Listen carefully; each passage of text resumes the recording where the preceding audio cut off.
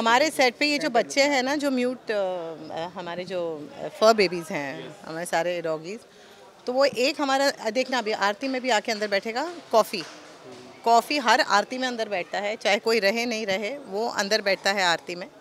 And every aarti he has attended मतलब uh, मैं तो भगवान की दया से मैं रोज़ यहाँ रही हूँ. uh, रोज़ uh, शाम की आरती तो मैंने यहाँ की की है.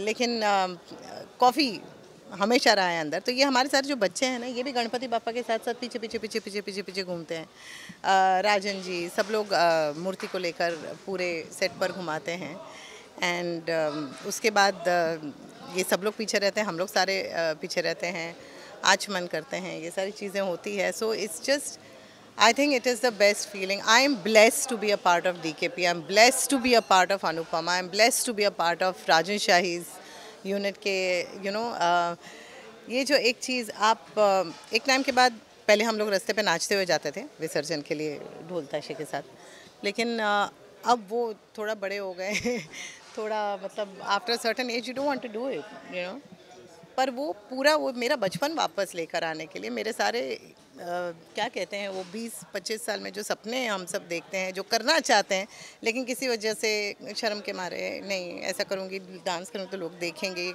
वो सब कुछ नहीं। यहाँ पर डीकेपी में सब दिल भर के मतलब सारी तमन्नाएँ सारी मुरादें पूरी करने मिलती है।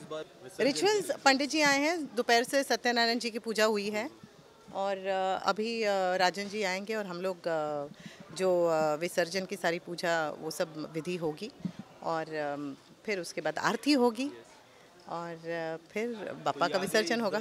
बहुत सारी यादें हैं बहुत सारी यादें हैं। तो मतलब बीमा और मैं हम लोग माइक के लिए एक माइक लेके हम लोग लड़ रहे हैं मतलब कि आरती ये वाली आरती मुझे आती ये वाली आरती तुझे आती ये वाला तो फिर एक एक जन टर्न लेके किसी का शंख बजाना किसी का कुछ एंड उस वक्त पूरी यूनिट एक साथ आ जाती है और साथ में आरती करती हैं it's just so beautiful it's so beautiful how does it feel for me what can I say मैंने मेरे को तो अभी भी ऐसा लगता है कि uh, कहीं मैं इस सपने से जाग ना जाऊँ। Yes. मुझे विश्वास ही नहीं होता कि ये सब मेरे साथ हो रहा है इतना प्यार मुझे मिल रहा है।